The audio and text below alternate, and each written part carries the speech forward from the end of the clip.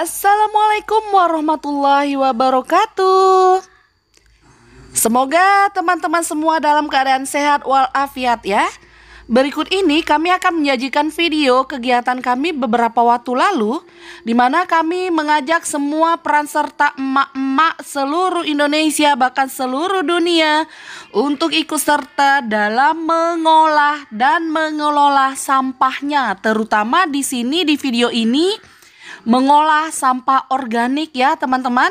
Silakan disimak Nah ini kan gula satu kilo. Gula merah ya pak ya? Gula merah satu kilo berarti kulit buahnya ini bahan organiknya ini Iya. ini tiga kilo Iya. dan minimal lima macam. Oh minimal Kenapa ada minimal? macam. Supaya enzimnya itu bervariasi. Oh iya. Jadi misalnya tuh besok punya semangka dikit setelah panen baru gabungannya di sana. Jadi Kan 10 3 kilo ini gabungan ini ya pak ya? Ya, minimal lima.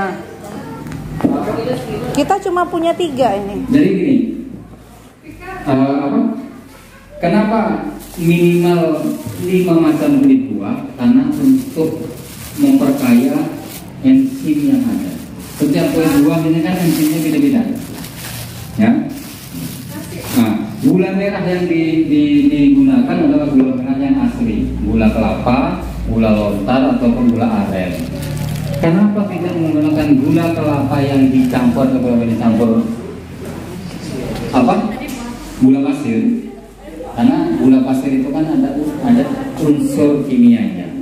Boleh menggunakan gula pasir boleh di daerah-daerah subtropis boleh, cuma dia tidak tiga bulan, enam bulan harus karena tadi.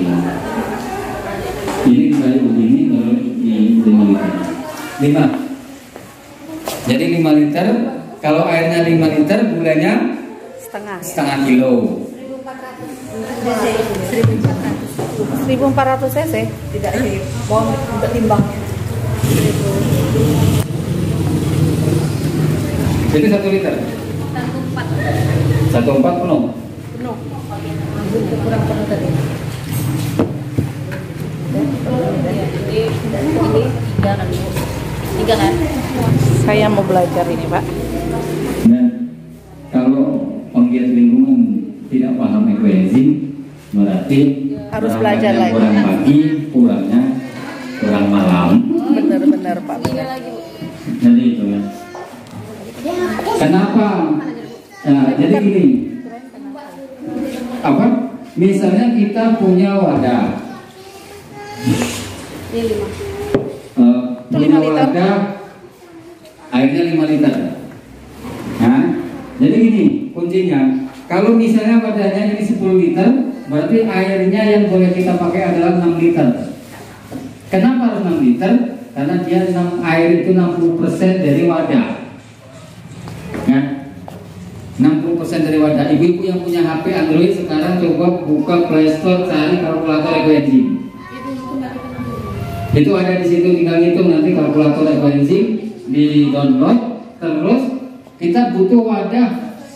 Misalnya wadahnya 20 liter, berapa airnya? Udah. Tulis wadah 20 liter nanti muncul. Berarti butuh gula sekian, BO-nya sekian, airnya sekian. Di uh, kalkulator ekoenzim. Karena apa? Kita akan menyisakan ruang kosong hampa sekitar 20% Karena ini nanti ada gas Karena apa? Kalau banyak bahannya ini kulit nanas Pasti gasnya lebih besar Kenapa harus pakai wadah yang mulut lebar? Supaya lebih enak waktu proses pembuatan dan pemanenan Kalau misalnya pakai botol-botol boleh Risikonya apa? Takut meledak karena pernah buat di drum biru itu yang setinggi ini eh, tiga hari tidak dibuang gasnya, malam itu meledak sampai atap sennya itu jebol. Nggak boleh bolong pak. Nah ini tidak boleh ada udara yang masuk. Risikonya apa? Rusak. Anaerob berarti ya. Ya, ada anaerob, ada sistem aerob juga. Gitu. Jadi berbagai macam. Cuma permasalahannya selama fermentasi. Jadi ini, ibu-ibu nanti setelah ini di, dimasukkan semua bahannya, itu kita tutup rapat, tunggu. Kalau bisanya pakai ini, ini biasanya dia akan ngembang. buka sedikit tutup lagi sampai Stabil ya. gasnya ini tidak ada seminggu atau dua minggu setelah itu tutup rapat pendapat tempatkan pada tempat yang aman tidak digoyang-goyang karena kalau sering dipindah-pindahkan digoyang-goyang banyak gagalnya Nah, kenapa kalau praktek saya lebih senang pakai toko kayak gini akan kelihatan? Nanti kelihatan di sini. Jadi misalnya tiba-tiba dilihat tuh sudah satu bulan kok ada hitam-hitamnya jamur. Itu sudah tanda-tanda pasti tidak Jadi tidak jadi. Ada kemungkinan gagal. Gitu. Nah, nanti misalnya wih banyak jamur putih-putihnya ya itulah jamur pitera gitu. nanti kawan setelah dua minggu ditutup rapat setelah dua minggu pasti akan mulai kelihatan jamur piteranya akan mulai muncul. Dan kemarin ada kawan yang pernah praktek ternyata dengan menggunakan lebih banyak labu kuning apa yang besar itu labu kuning itu yang biasa kolak itu yang kulitnya keras. Nah itu kalau nanti yang bawah kalau nanti itu ternyata itu lebih efektif untuk pemicu munculnya mama enzim. Eh, gel yang itu dan itu Pemicu munculnya mama enzim. Mama enzim, mama enzim itu kalau kami menyebutnya sebagai gila karena saya sudah ratusan kali bukan belum pernah bukan dapat mama enzim ada orang sekali dua dapat mama enzim itu sangat luar biasa ada anak panas kompres pakai itu ya anak saya anak saya dulu gitu cuma karena kesibukan saya lalai Ini nanti dicacah, akhirnya Kak? terawat, akhirnya Ini dicacah nanti Pak. Ya, jadi ini kita kita akan timbangkannya ini airnya 5 liter, berarti gulanya setengah kilo. Tolong Bu. Kita minta tolong bu ini di, dipecah jadi dua, biar setengah kilo. Jadi gulanya setengah kilo. Ah, terus kita butuh bahan baku, bahan bakunya berapa? Kalau kalau tadi kan satu gula kilo bahannya itu tiga, tiga kilo. Tiga kilo. Ah jadi bahannya sekarang satu setengah kilo. Kayaknya nah sudah. pas ya. itu jadi ini setengah liter kalau bisa disisir di apa supaya kecil. Langsung ini aja. Nah Keren. Hati-hati ya Bu. Karena apa? Supaya dia cepat larut ke dengan air. Terus kita siapkan lagi yang untuk apa namanya? Bahan organiknya. Ada kulit pisang. Ini kulit pisang direbus ya? Lah, Kulit pisangnya yang berpisang belum direbus, bukan kulit pisang rebus. Yang sudah direbus dimasak tidak boleh. Jadi ini yang segar, yang segar tapi belum busuk. Oh. belum busuk ya Pak? Ya, kalau yang sudah busuk masuknya ke sini. Nah, ini kulit pisang ini. Nah, ini kan kulit pisang. Jangan marah Bu. Saya suka yang kayak gini nih. Jadi eh, kita butuh satu setengah kilo. Karena ini kita kita buat berapa yang ada saja karena tidak mencukupi lima. Nah, terus ada pertanyaan, misalnya pas kita buat kok bahan bahannya ini kurang, gimana bisa dicicil? Misalnya kita mau buat 10 liter air, kita baru punya bahan organiknya ini, ini baru satu kilo, dan butuhnya 3 kilo, bisa dicicil. Sekarang masukkan dulu gula dengan airnya 10 liter, ini satu kilo masukkan. Nanti besok ada lagi setengah kilo, masukkan lagi. Sampai maksimal 7 hari. Ya, nyicilnya itu namanya sistem nyicil, tapi ribet saya memang tidak senang mendingan kumpulkan. Nah, kadang gini kita kan konsumsinya kan sedikit. Misalnya punya makan jeruk di rumah simpan di dalam kulkas dalam suhu rendah. Kalau bisa jangan dimasukkan kantong asoy dibungkus pakai kertas koran baru dibungkus pakai kantong asoy kalau kantong asoy langsung biasanya dia akan masak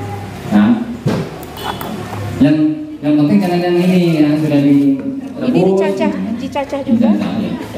jadi ini kita butuh satu setengah kilo bahan organik.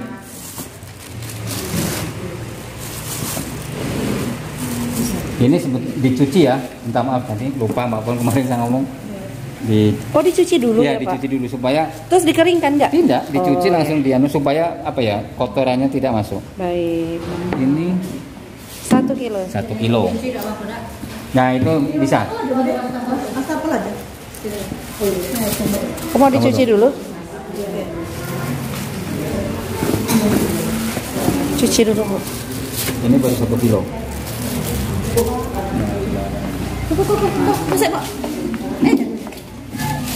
Bahan-bahan organik dicuci dan dipilih yang tidak busuk. Praktek itu, Pak, Bu. Yang praktek hitam itu. kan ada apa nih ini besar nih anak airnya Ren Udah mau turun. Keren Bapak, ini ilmu terapan loh Bu, nggak teori nih Bu ya. Langsung gitu ya Bu. Nah, kayak gini harus tahu gitu. Nggak teori. Ya, manfaatnya tuh Banyak ini. dari Yang pasti untuk lingkungannya luar biasa Bu. Dari rumah kan nggak nggak sampai ke TPA akhirnya Iya, ini ilmu-ilmu yang saya suka tuh yang kayak gini emang. ini udah gitu ya, itu udah setengah kilo lagi ya Pak ya.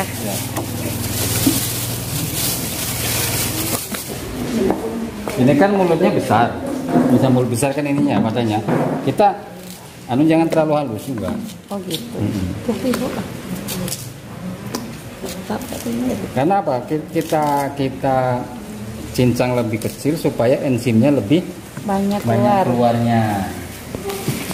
Itu. Oh gitu. Hmm. Tujuannya cuma itu. Dan ini bisa dibikin aroma apa? Nama Ditambah aroma? Aromaterapi. Aromaterapi itu misalnya kita mau untuk pengharum ruangan kan? Iya. Itu bisa kita manfaatkan nanti setelah dipanen. Mm-mm. Kita, Kita, kasih. fermentasi lagi eh, satu bulan. Mm-mm. Kita kasih khusus misalnya pingin bau jeruk atau pingin bau serai wangi kita sampaikan serai wangi. Oh gitu, boleh ditambah. Dari awal pun bisa kita Nggak, pakai kita tambah itu dengan ah, organik lagi ya? organik lagi. Nggak boleh Semua yang organik. kimia ya. Bukan anu. Dan itu bisa untuk apa? Kayak mengurangi mengusir nyamuk. Mm-mm. Terus bisa juga Hama tanaman bisa nggak ya? ya Nyemprot hama tanaman Bisa. gitu. Kayak mangga itu suka ada daunnya yang terus pulih hitam-hitam menghitam akhirnya mati tuh. bisa Kita semprot pakai ya. satu banding seribu Satu banding seribu. dari satu liter air satu mili ekoenzim ngirit sekali kan Oh, dikit bu ya. Ya. Oh, satu mili dengan seribu satu Yang liter ya, ya, ya. ya. Oh gitu. Ini dimasukkan semua sebanyak satu setengah liter.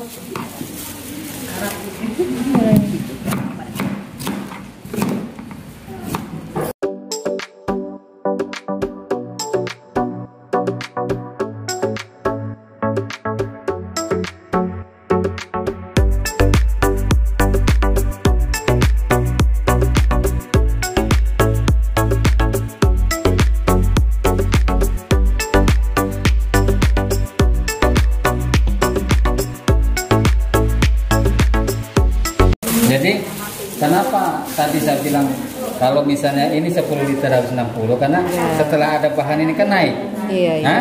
Nah, gini kan kita menjadikan sisa ruang kosong untuk kalau ini bahannya banyak yang rendah kayak daun jeruk, serai wangi, ini akan lebih lebih naik lagi. Tapi karena ini bahan baku, bakunya itu tangannya berat, makanya dia kelihatan sedikit.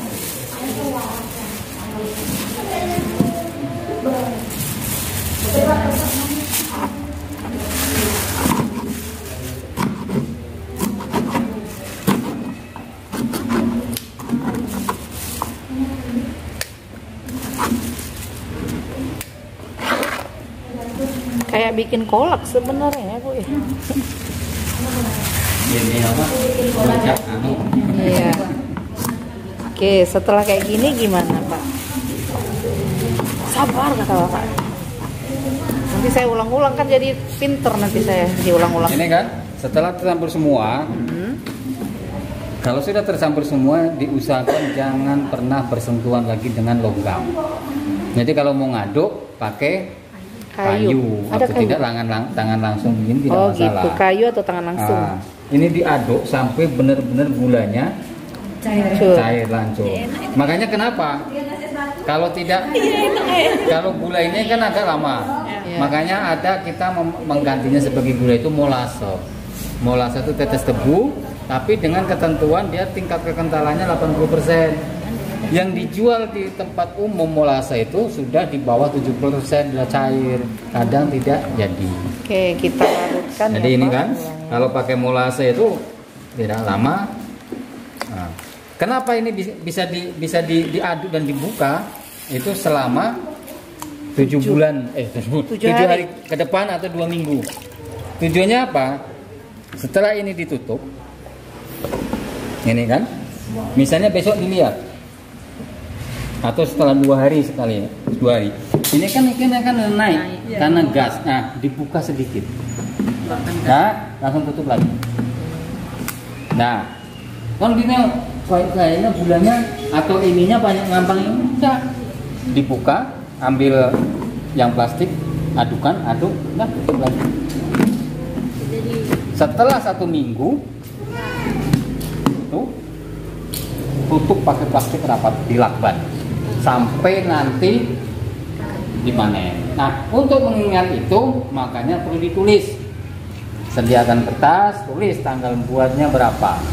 Hitung 90 hari 3 bulan ke depan. Panennya tanggal berapa. Terus ditulis bahan organiknya misalnya kulit pisang, kulit semangka, kulit melon, apa nah itu. Tujuannya apa? Supaya nanti kalau Anda ingat kita oh tanggal buatnya sekian, panennya sekian. Jadi bahannya ini. Karena gini, ada orang yang alergi terhadap kulit nanas. Ada yang tidak. Memang kebanyakan orang itu lebih alergi kepada kulit nanas. Dan kalau kulit nanas dibuat bahan organik, itu gasnya akan lebih banyak. Ini berapa lama jadinya pak? 3 bulan, 90 hari. Sekarang tanggal 20 bulan Juli, berarti Agustus, September, Oktober, tanggal 20 Oktober ini baru boleh dipanen. Tuh bu, Lama kan? Nah, Bismillah. cuma kalau gagal tidak akan dibuang. Untuk pupuk. Oh gitu Kalau kalau gagalnya buat ekoenzim, jadinya adalah POC. tanda keberhasilannya Nah, apa? Tanda keberhasilannya satu, baunya khas fermentasi, Oh. tidak bau got. Kayak gitu tadi ya pak? Ya, tidak bau got atau bau busuk. Kedua tanda-tanda yang kelihatan itu tidak ada jamur hitam yang keras. Kalau jamur putih yang tadi boleh ya? Boleh. Kalau yang putih itu malah pitera itu malah bagus, jamur jamur bagus. Nah, ini kan dari sisa limbah yang kita hasilkan yang masih bagus. Nah, nanti kalau yang sudah busuk ke mana? Ke Larinya ke sini. Larinya ke sini. Masukkan semua. Mana tadi yang sudah direbus? Hmm. Hah? Jadi gini. Kalau bagus, taruh dulu ranting-ranting kecil di paling bawah atau daun-daun daun Kering. lah yang khas itu. Setelah itu baru masukkan semua. Kayak ini misalnya kan, nah masukkannya sudah tidak sampai FNG masukkan. Ada sisa nasi basi, sayur, apa pun masukkan. Itu. Yang didapat nanti ini jadi padatan, cairannya dia akan menetes dari lubang-lubang ini ke bawah. ini dibolongkan. Nah, dibolong. Baru ini di anak-anaknya untuk panen. Lihat pak bolongnya pak. Ini bolong ya. Ya. Pupuk juga. padatannya ini dapat pupuk, ini dapat pupuk. Tapi Iya. lebih banyak pasti dapat ininya dulu. Dapat yang Karena pupuk ini, cair.